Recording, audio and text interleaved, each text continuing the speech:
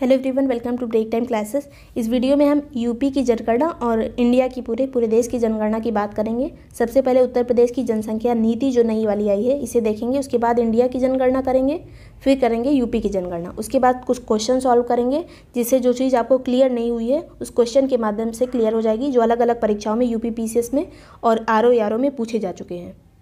सबसे पहले बात करेंगे जो बहुत इंपॉर्टेंट है अभी जनसंख्या नीति नई आई है उत्तर प्रदेश की 2021 से 30 के लिए 10 साल के लिए।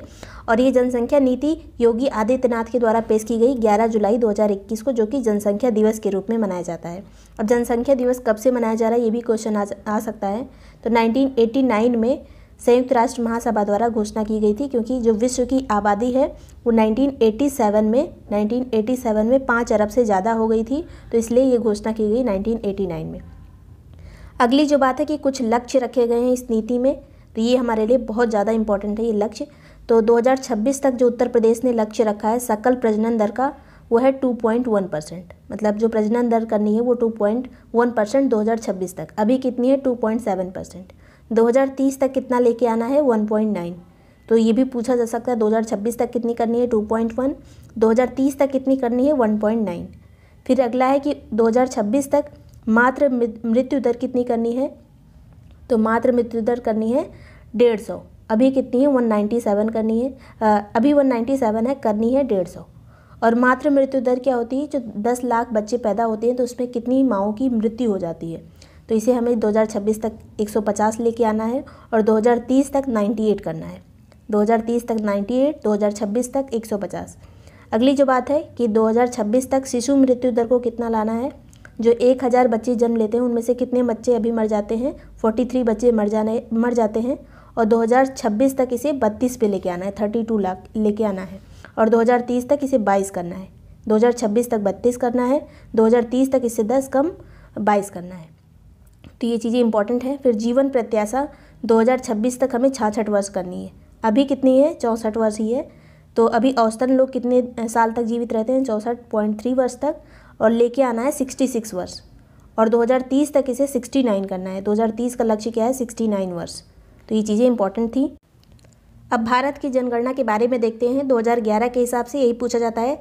पहली बार सर्वप्रथम जनगणना कहाँ पे हुई थी? विश्व में। स्वीडन में हुई थी नाइनटी, सेवनटीन फोर्टी नाइन में। पहली बार पूरे विश्व में जो जनगणना हुई थी, वो स्वीडन में हुई थी 1749 में और दसकीय जनगणना अमेरिका में पहली बार हुई थी 1790 में।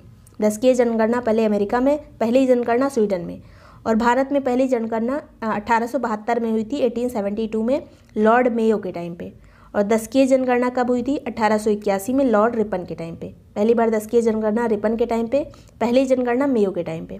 महाविभाजक वर्ष क्या होता है ये पूछा जाता है एग्ज़ाम में। तो 1921 को महाविभाजक वर्ष कहते हैं, क्योंकि 1911 से 1921 के बीच में जो जनगणना हुई, उसमें जो जनसंख्या वृद्धि दर थी, वो न्यूनतम थी। मतलब वृद्धि बहुत कम हुई, इसलिए इसे महाविभाजक वर्ष कहते हैं। फिर आता है, जो 2011 की जनगणना हुई थी, इसमें जनगणना आयुक्त कौन थे? तो डॉक्टर सी चंद्रमौली, ये पूछ लिया जाता है। सी चंद्रमौली, और शुभंकर इसका क्या था? प्रगड़क शिक्षिका। शुभंकर था प्रगड़क शिक्षिका। आदर्श वाक्य कौन सा था? हमारी जनगणना, हमारा भविष्य। तो ये चीज़ें पूछ ली जाती हैं। इसमें कितने सवाल रखे गए थे? उनतीस सवाल थे टोटल जो जनगणना के टाइम पे लोगों से पूछे जाते थे। फिर पूरे विश्व में जो भारत का प्रतिशत है जनगणना में जनसंख्या में वो कितना है? पूरे विश्व में सेवनटीन पॉइंट फाइव परसेंट है भारत की जनसंख्या। फिर आता है, कुछ चीज़ें रखी गई हैं। अनुत्पादक वर्ग किसे कहते हैं? तो ये हमारे इंडिया के हिसाब से है कि ज़ीरो से चौदह साल के जो बच्चे होते हैं वो अनुत्पादक वर्ग में आते हैं, उसके बाद जो चौंसठ साल से साल से ऊपर जो वयस्क व्यक्ति होते हैं उन्हें अनुत्पादक वर्ग में रखा जाता है। उत्पादक में किन्हें रखा जाता है? पंद्रह से चौंसठ वर्ष के बीच के जो लोग होते हैं, उन्हें उत्पादक वर्ग में रखा जाता है। पंद्रह से चौंसठ वर्ष। याद रखिए, रिटायरमेंट की एज जो साठ और बासठ है, उसके आगे चौंसठ वर्ष तक उत्पादक वर्ग आता है। फिर युवा में किसे रखा जाता है? तो पंद्रह से उनतालीस साल के लोग युवा में आते हैं, फिर चालीस से चौंसठ चौंसठ साल के लोग प्रौढ़ में आते हैं। तो ये चीज़ें इंपॉर्टेंट हैं। फिर चौंसठ साल के बाद वाले जो लोग होते हैं, वो सीनियर सिटीजन में चले जाते हैं। तो ये इंडिया के हिसाब से केवल था।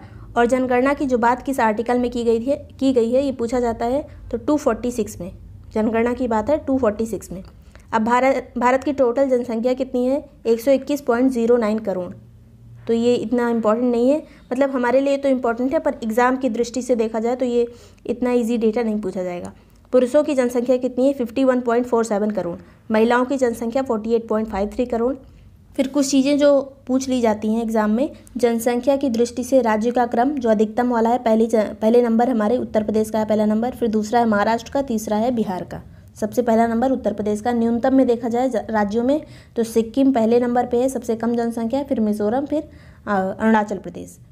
ये आंध्र प्रदेश नहीं याद रखिएगा, ये अरुणाचल प्रदेश है। तो पहला वाला बहुत इंपॉर्टेंट है, पहला उत्तर प्रदेश है अधिकतम में न्यूनतम है सिक्किम। केंद्र शासित प्रदेशों में पहले नंबर पर दिल्ली है और सबसे कम जनसंख्या कहाँ है? लक्षद्वीप में। सबसे ज़्यादा केंद्र शासित में दिल्ली में है, फिर पुदुचेरी, फिर चंडीगढ़, सबसे कम में है लक्षद्वीप में। फिर दशकीय वृद्धि दर सबसे ज़्यादा कहाँ पे वृद्धि हुई? पूरे 2001 से 2011 के बीच में तो मेघालय में सबसे ज़्यादा वृद्धि हुई। फिर अरुणाचल प्रदेश, फिर बिहार। पहले मेघालय, फिर अरुणाचल प्रदेश, फिर बिहार। यहाँ पे बहुत लोग बिहार को अधिकतम लगा सकते हैं क्योंकि माइंड सेट होता है ऐसा कि बिहार में ज़्यादा जनसंख्या है, लेकिन दशकीय वृद्धि कहाँ हुई? मेघालय में। फिर है न्यूनतम जो हुई वृद्धि कहाँ पे? तो यहाँ पे निगेटिव वृद्धि दर थी नागालैंड में सबसे कम, उसके बाद फिर केरल, फिर गोवा। सबसे ज़्यादा मेघालय, सबसे कम नागालैंड। फिर केंद्र शासित प्रदेशों में दादरा और नगर हवेली की वृद्धि दर सबसे ज़्यादा रही और न्यूनतम रही केंद्र शासित में लक्षद्वीप में। दादर, नगर, हवेली, दमन, दीव जो एक ही में हो गया है तो इसकी वृद्धि दर अधिकतम थी और न्यूनतम किसकी थी? लक्षद्वीप की। जनसंख्या घनत्व तो कितना है इंडिया का? तीन सौ बयासी व्यक्ति पर वर्ग किलोमीटर। एक किलोमीटर में तीन सौ बयासी व्यक्ति रहते हैं, जो कि पिछली बार से 2001 की जनगणना के हिसाब से सत्तावन ज़्यादा है। 57 ज़्यादा है तो ये पूछ लिया जाता है कभी कभी कितना बढ़ा है जनगणना तो 57 जनसंख्या वृद्धि दर कितनी रही? 17.72 परसेंट 2001 से 2011 के बीच में जो वृद्धि हुई, पूरे इंडिया की बात की जा रही है 17.72 परसेंट फिर देखते हैं जनसंख्या घनत्व के हिसाब से देखा जाए तो अधिकतम घनत्व किसका है? बिहार का। मतलब एक किलोमीटर के अंदर जितने लोग रहते हैं, उनमें सबसे ज़्यादा संख्या है बिहार में। फिर न्यूनतम कहाँ है? अरुणाचल प्रदेश में सबसे कम लोग रहते हैं एक किलोमीटर के अंदर में। फिर लिंगानुपात देखा जाए तो सबसे ज़्यादा लिंगानुपात केरल में है, सबसे कम कहाँ है? हरियाणा में। सबसे ज़्यादा लिंगानुपात केरल में, सबसे कम हरियाणा में। फिर साक्षरता दर सबसे ज़्यादा कहाँ है? केरल में। और न्यूनतम कहाँ है? बिहार में। साक्षरता दर में केरल के बाद किसका नंबर आता है? मिज़ोरम का, फिर गोवा का। तो ये पूछ लिया जाता है, दूसरा वाला भी इंपॉर्टेंट है। पहले केरल, फिर मिज़ोरम। न्यूनतम में साक्षरता में बिहार है, फिर उसके बाद अरुणाचल प्रदेश। अनुसूचित जाति की बात की जाए तो नंबर एक पे जो जनसंख्या के हिसाब से सबसे ज़्यादा कहाँ है? उत्तर प्रदेश में सबसे ज़्यादा एस जो रहते हैं, सबसे ज़्यादा उत्तर प्रदेश में रहते हैं, जनसंख्या के हिसाब से। अगर प्रतिशत में देखा जाए तो पंजाब में परसेंटेज ज़्यादा है एससी का और यूपी में जनसंख्या। फिर दूसरे नंबर पर जनसंख्या में वेस्ट बंगाल, फिर बिहार आता है। फिर न्यूनतम में, न्यूनतम अनुसूचित जाति कहाँ है? मिज़ोरम में, फिर मेघालय, फिर गोवा, जो उत्तर पूर्व वाला एरिया है, वहाँ पे बहुत कम एस सी है वहाँ पे एस टी ज़्यादा है। तो सबसे कम कहाँ है? मिज़ोरम में। अनुसूचित जनजातियों की बात करें तो परसेंटेज वाइज देखते हैं, सबसे ज़्यादा है लक्षद्वीप में, फिर मिज़ोरम में, फिर नागालैंड में। और सबसे कम कहाँ पर है? सबसे कम अनुसूचित जनजाति यूपी में परसेंटेज वाइज फिर तमिलनाडु में, फिर बिहार में। सबसे कम यूपी में, सबसे ज़्यादा लक्षद्वीप में। पहली जाति आधारित जनगणना कब हुई थी? 1931 में। जाति आधारित 1931 अब बात करते हैं उत्तर प्रदेश की जनगणना की, जो बहुत ज़्यादा इंपॉर्टेंट है यूपी के एग्ज़ाम के लिए। लेकिन उससे पहले थोड़ा धर्म आधारित देख लेते हैं। ये इंडिया वाली लिखी हुई है यहाँ पर। इंडिया में सबसे ज़्यादा कौन है? हिंदू, फिर मुस्लिम, फिर ईसाई हैं। उसके बाद सिख का नंबर आता है, फिर बौद्ध आते हैं, फिर जैन आते हैं। अगर यही यूपी की बात होती, ये यहाँ पे इंडिया वाला लिखा है याद रखिए, ये इंडिया का है। और यूपी की बात होती तो पहले हिंदू आते, फिर मुस्लिम। ये दोनों तो सेम है, लेकिन यहाँ पे क्रम अलग हो जाता। पहले सिख आ जाते, केवल यूपी में, उसके बाद फिर ईसाई आते।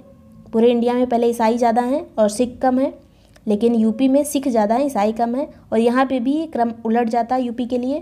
पहले जैन आ जाते, फिर बौद्ध आता। और पूरे इंडिया में बौद्ध ज़्यादा है, जैन कम है, यूपी में जैन ज़्यादा है, बौद्ध कम है। उसके बाद इस बार अन्य का भी रखा गया था एक क्रम तो उसमें भी कुछ लोग थे।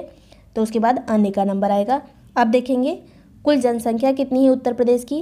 तो ये बहुत कम पूछा जाता है टोटल जनसंख्या। लेकिन ये है उन्नीस करोड़ अट्ठानबे लाख बारह हज़ार तीन सौ इकतालीस। तो उन्नीस, अट्ठानबे, बारह, तीन सौ इकतालीस ऐसे याद कर सकते हैं। पहला नंबर है पूरे देश में जनसंख्या के हिसाब से यूपी का। और दूसरे नंबर पे कौन आता है? महाराष्ट्र।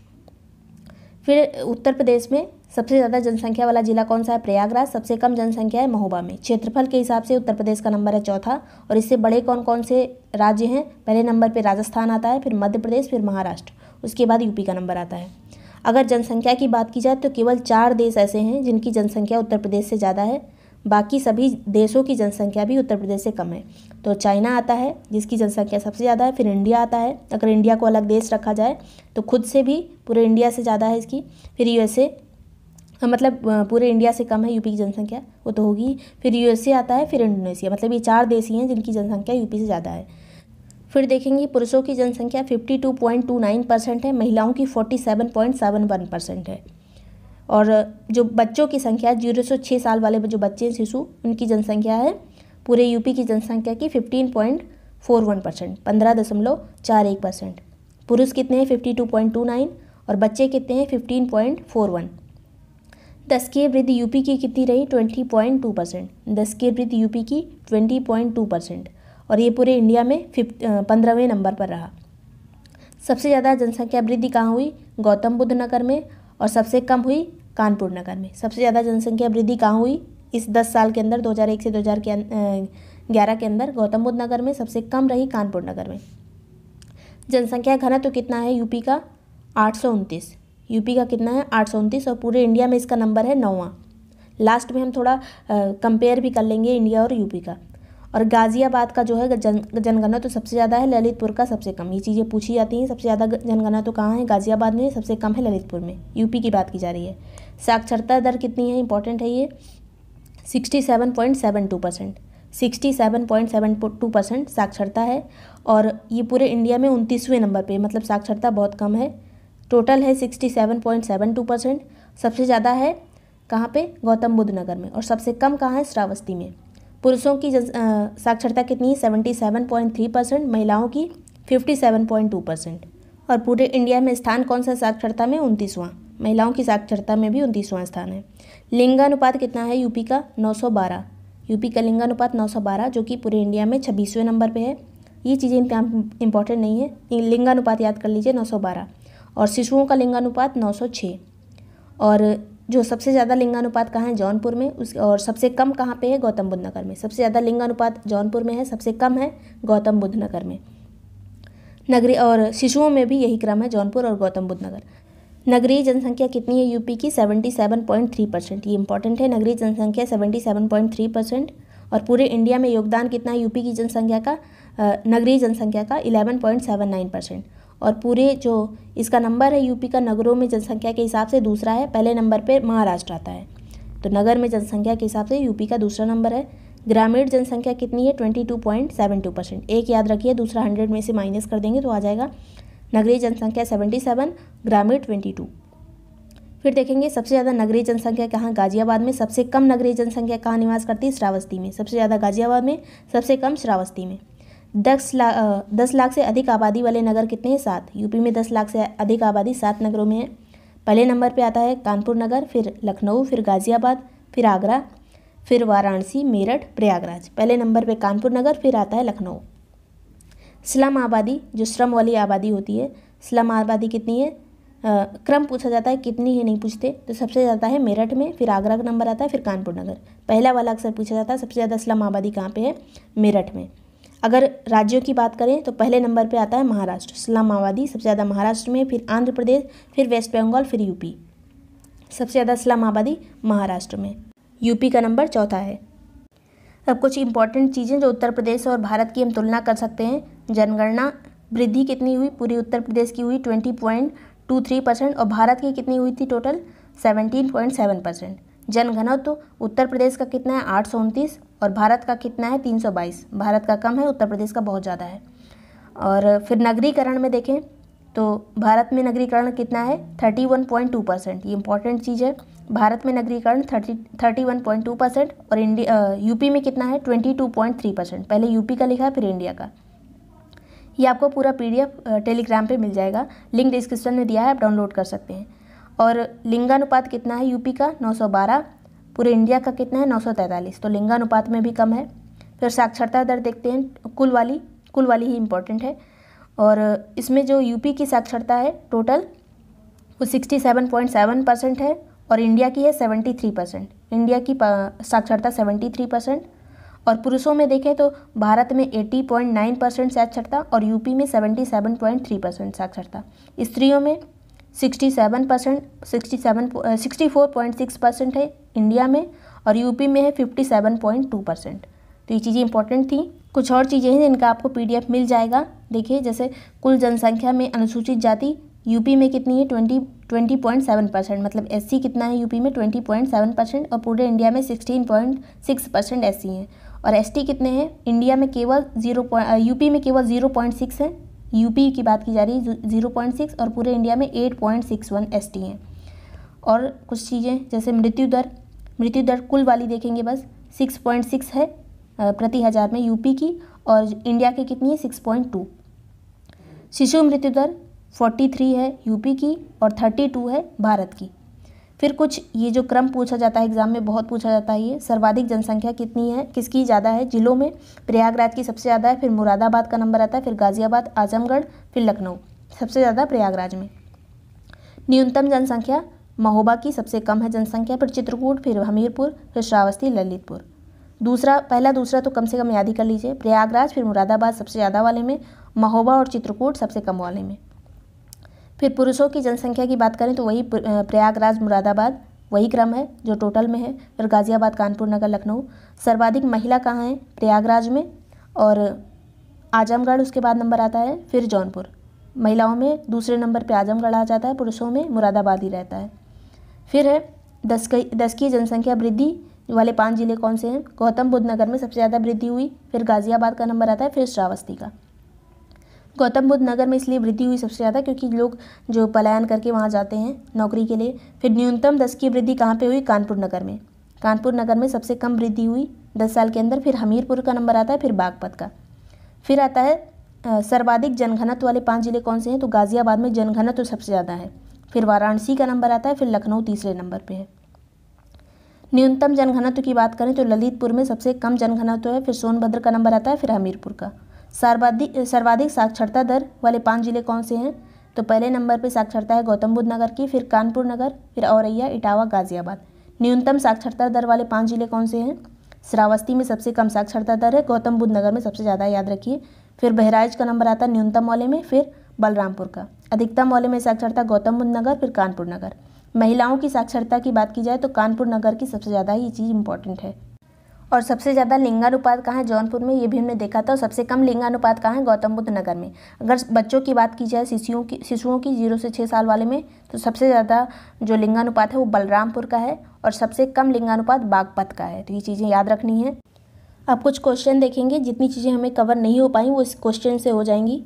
जो पहले भी पूछे जा चुके हैं, उत्तर प्रदेश में अधिकतम क्षेत्रफल वाला जनपद कौन सा है? तो सबसे ज़्यादा क्षेत्रफल किसका है? लखीमपुर खीरी का। दूसरे नंबर पे सोनभद्र आता है, पहले नंबर लखीमपुर खीरी, दूसरा सोनभद्र, तीसरे नंबर पे हरदोई आता है। फिर आगे देखेंगे 2011 के अनुसार प्रदेश में पुरुष साक्षरता कितनी है? तो 77.3 परसेंट पुरुष साक्षरता है। जनगणना 2001 के अनुसार निम्न में से कौन सर्वाधिक साक्षर है? सबसे ज़्यादा जो धर्मों के हिसाब से साक्षर है, वो हैं जैन। फिर है 2011 के अनुसार इन ऑप्शन में बात की जा रही सबसे ज़्यादा साक्षर कौन है? जैन। 2011 के अनुसार राज्य में शिशु लिंगानुपात है कितना? तो शिशु लिंगानुपात है 902 और जो टोटल लिंगानुपात कितना है? 912 केवल यूपी की बात की जा रही है। 2011 के अनुसार राज्य में महिला आबादी, कुल आबादी का लगभग कितना है? तो महिला आबादी है फोर्टी एट परसेंट। दो हज़ार ग्यारह की जनगणना के अनुसार फिर यूपी में लिंग अनुपात का विभेद सर्वाधिक रूप से कब घटा?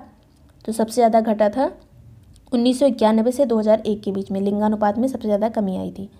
फिर है प्रदेश में जनसंख्या की दशकीय वृद्धि दर अधिकतम कब थी?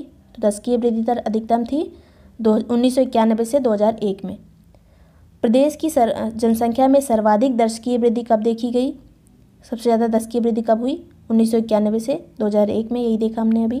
फिर 2011 के अनुसार उत्तर प्रदेश में एसटी की सर्वाधिक सांद्रता कहाँ है? मतलब सबसे ज़्यादा एसटी यूपी में कहाँ है? तो सोनभद्र में। 2011 के अनुसार केवल नगर निगम में दस लाख से अधिक जनसंख्या वाले नगरों का सही क्रम क्या है? तो ये केवल दस लाख वाले नगर निगम की बात की जा रही है। तो इसका जो सही क्रम होगा, वो होगा लखनऊ, फिर कानपुर, फिर गाज़ियाबाद, फिर आगरा। यहाँ पे केवल नगर निगम वाले जो क्षेत्र आते हैं, उसकी बात की जा रही है। लखनऊ, कानपुर, गाज़ियाबाद, आगरा। अगला है 2011 के अनुसार निम्न में से सर्वाधिक जनघनत्व किसका है? कौन से ज़िले का? तो सबसे ज़्यादा है गाज़ियाबाद का जनघनत्व। फिर 2011 के अनुसार उत्तर प्रदेश में महिला पुरुष अनुपात क्या है?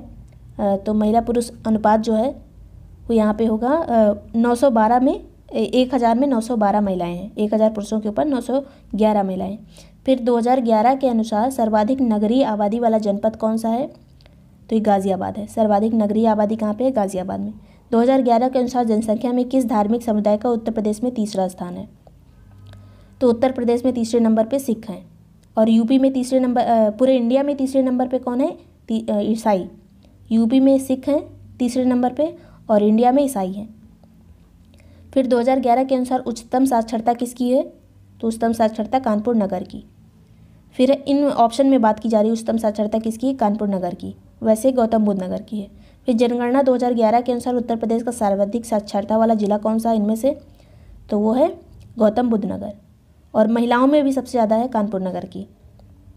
2011 के अनुसार सर्वाधिक औसत साक्षरता वाले निम्न चार जिलों का जिलों का सही अवरोही क्रम क्या है? तो साक्षरता को अवरोही क्रम में लगाना है। पहले नंबर पे गौतम बुद्ध नगर, फिर कानपुर नगर, फिर औरैया का नंबर आता है, फिर इटावा का। तो यही सही क्रम है। गौतम बुद्ध नगर, कानपुर नगर, औरैया, इटावा। जनगणना 2011 के अनुसार सर्वाधिक साक्षरता वाले चार जिलों का सही अवरोही क्रम क्या है? यहाँ पर भी हमें अवरोही क्रम में लगाना है। गौतम बुद्ध नगर कानपुर नगर औरैया इटावा। तो ये कई बार आ गया है, लेकिन ये कई एग्ज़ाम में पूछा गया होगा। जनगणना 2011 के अनुसार निम्न कथनों में से सही कौन सा है? तो इनमें सही कौन सा है? पहला वाला है, न्यूनतम साक्षरता वाला जिला श्रावस्ती है। तो ये वाला सही है। फिर है सर्वा, पहला सही हो गया, फिर सर्वाधिक लिंगानुपात वाला जिला देवरिया है, ये गलत है। सर्वाधिक लिंगानुपात जौनपुर में है।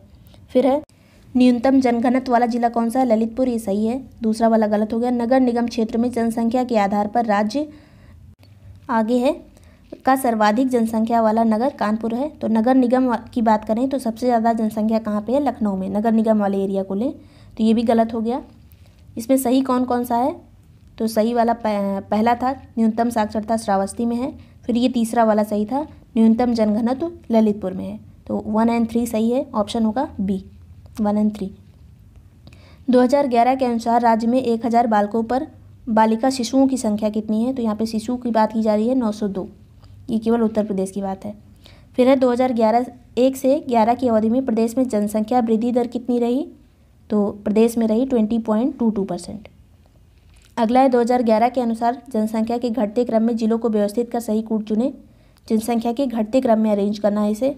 तो पहले नंबर पे आएगा प्रयागराज, उसके बाद मुरादाबाद सबसे ज़्यादा जनसंख्या है प्रयाग प्रयागराज में, फिर मुरादाबाद में, फिर गाज़ियाबाद में, फिर लखनऊ में। ऑप्शन होगा ए।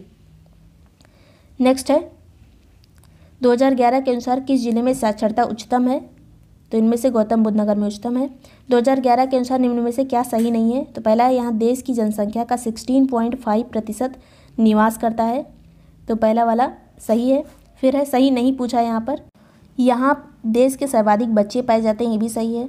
फिर है, इसकी दस की वृद्धि दर सेवनटीन पॉइंट सेवन परसेंट रही। तो ये गलत है। यहाँ यूपी की बात की जा रही है twenty point something twenty point two two शायद परसेंट है। जो यहाँ की दस की वृद्धि दर है twenty point two two percent है। तो ये वाला गलत है ऑप्शन होगा सी लिंगानुपात कितना है? नौ सौ बारह। और शिशुओं का लिंगानुपात कितना है? नौ सौ दो यूपी में।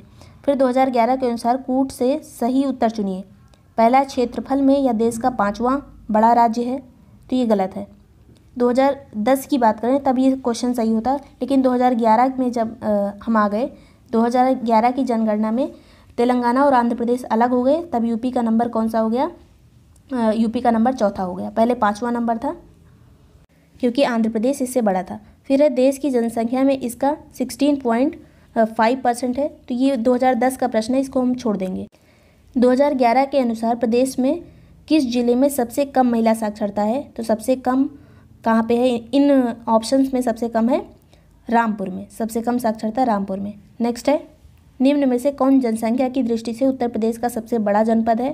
तो सबसे बड़ा है प्रयागराज। फिर आता है, जनगणना 2011 के अनुसार सर्वाधिक साक्षरता वाला जिला कौन सा है? गौतम बुद्ध नगर। जनगणना 2011 के अनुसार सबसे कम जनसंख्या वाला जिला कौन सा है? महोबा। सबसे कम जनसंख्या महोबा में। जनगणना 2011 के अनुसार राज्य में दस लाखी नगरों की संख्या कितनी है? सात। 2011 के अनुसार निम्न में से सबसे कम जनसंख्या वाला जिला कौन सा है? तो सबसे कम जनसंख्या है महोबा में। तो इसका पीडीएफ इस पूरे जितना मैंने पढ़ा है, इसका पीडीएफ आपको टेलीग्राम पे मिल जाएगा। इसका यहाँ पे उत्तर भी लिखा है, आप देख सकते हैं। और वीडियो आपको पसंद आया हो तो लाइक और सब्सक्राइब कर दीजिएगा। आपको टेस्ट सीरीज़ सॉल्व करनी हो तो लिंक डिस्क्रिप्शन में दिया है, आप सॉल्व कर सकते हैं। धे आई की आर ओ आर ओ की test series. Thank you so much for watching break time classes.